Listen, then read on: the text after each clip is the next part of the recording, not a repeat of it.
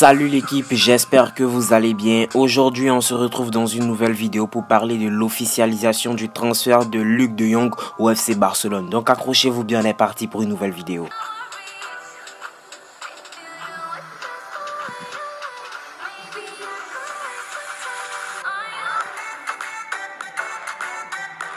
Belle équipe, avant de commencer cette vidéo, si tu es nouveau sur la chaîne et que tu aimes également le FC Barcelone, il ne faudrait surtout pas oublier de t'abonner et d'activer la cloche de notification, aussi de me laisser ton plus gros pouce bleu. Allez, c'est parti. C'est désormais officiel, Luc de Jong remplace Antoine Griezmann au Barça. L'attaquant néerlandais de 31 ans a été choisi par le board catalan pour remplacer numériquement Antoine Griezmann prêté à l'Atlético de Madrid.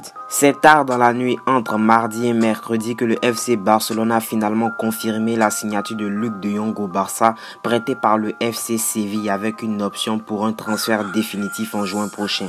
Le joueur néerlandais de 31 ans rejoint donc les Blaugrana après avoir passé deux saisons à Séville. Oui, il n'a pas réussi à trouver son meilleur niveau là-bas. Luc de Jong apportera toutefois une alternative offensive supplémentaire au Barça. Le Barça manquant jusque-là d'options après les départs de Lionel Messi au Paris Saint-Germain et maintenant d'Antoine Griezmann parti à l'Atlético de Madrid. L'international néerlandais avait rejoint Séville avant la saison 2019-2020, fort de plusieurs campagnes prolifiques au PSV Eindhoven. Mais l'attaquant n'a pas été en mesure de reproduire ses exploits en Espagne, marquant un total de 10 buts en championnat sur deux saisons en 69 apparitions.